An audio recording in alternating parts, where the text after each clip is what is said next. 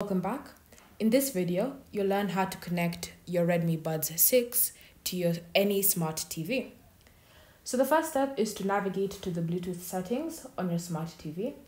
So for this LG TV, I'll just press on the settings button, select all settings, then I'll choose sound and select sound out.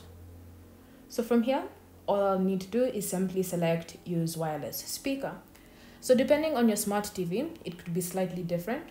So just ensure that you've navigated to Bluetooth and that you have Bluetooth enabled.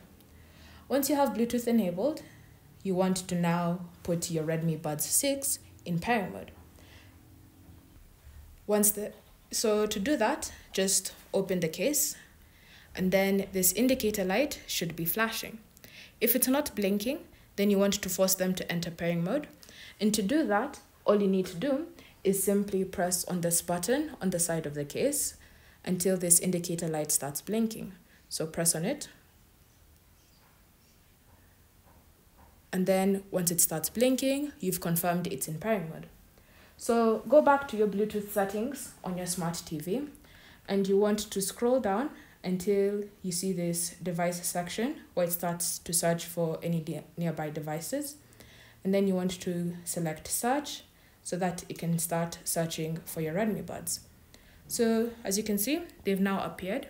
So just highlight and select, and then the connection should be established. So now, as you can see, my Redmi Buds 6 have been successfully connected to my smart TV. So now I can go back to home screen, to home, and then from here, I can just remove the buds from the case and start listening to any music or any movies that I'm watching on my smart TV. Thank you for watching. If you have any questions or comments, leave them down below and we'll get back to you.